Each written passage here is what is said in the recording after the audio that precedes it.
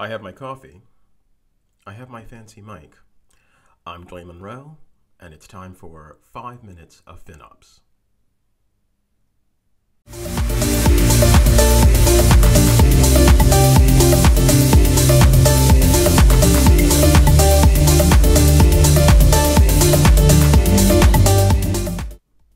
Chapter 1 of the book introduces us to FinOps. Where did it come from? Well, it evolved uh, over time. Uh, many different people, many different companies came into, uh, rather contributed to the creation of FinOps um, as they encountered the problem of how to manage their cloud spend, how to get insight into what they're doing with cloud and whether or not it's performing for them. It's a cultural change. That's the primary idea. There's a couple of benefits financial accountability to the variable spend, the movement of decision making about finances to the edge, and business, IT, and finance having to work together, which is quite new. Those of us who've been in this business for a while know that uh, that's not something that has happened typically in siloed environments. We're introduced to Finn. Finn has been working in IT for a while, and he's been doing things the way that all of us who've been around for a bit have been doing it. Doing reports on a quarterly basis, so forth. Doing capacity planning for servers racked in data centers. These things don't really work well in cloud. Fortunately for Finn, however, he has a colleague. Her name is Sarah, and Sarah introduces him to some key ideas for cloud, such as having a spend allocation strategy and tagging guidelines, and then right sizing.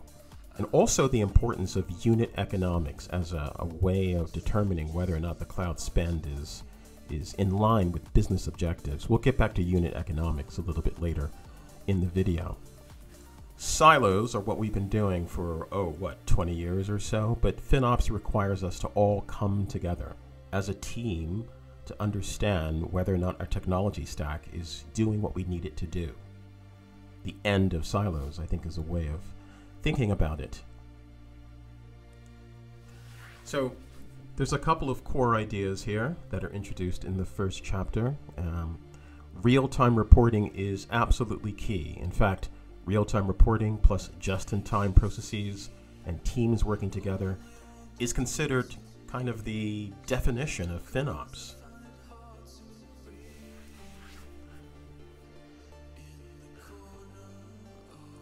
Teams need to collaborate. This is, again, the, the core message, the key message of the first chapter of the book. Decisions should be driven by the business value. And I think this is really new for a lot of people in IT the idea of trying to figure out what is the business value of the technology they, they uh, deploy. And it really wasn't possible before because, of course, you didn't have the ability to understand what the unit economic impact was, or rather, how you could have an impact on unit economics.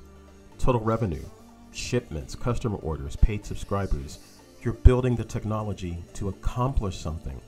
And now, with data coming from the billing and consumption API tied to tagging, you have the ability to understand whether or not you're accomplishing those goals.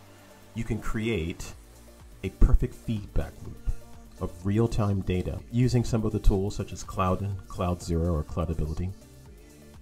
You can understand how your cloud activity is tied to your business goals.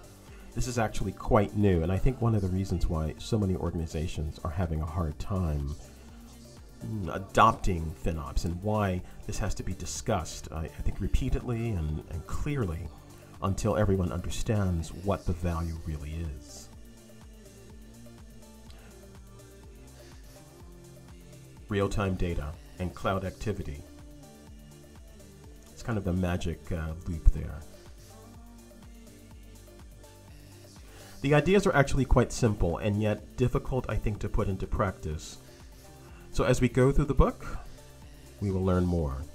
And to learn more, I suggest you pick up a copy of Cloud FinOps. And if you want to talk about Azure, or rather learn about Azure Cost Management, please pick up a copy of my book, I thank you very much for watching this video. which I hope you got something from. Stay tuned for episode two Why FinOps?